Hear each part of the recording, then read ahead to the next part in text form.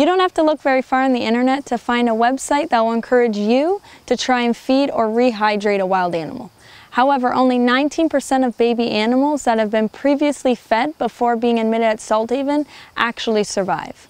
Some of the reasons why these animals died within 24 hours after arriving at Salthaven were because the animals were either aspirated while the donor was trying to give it fluids, the animal was shocky and didn't have a swallow reflex.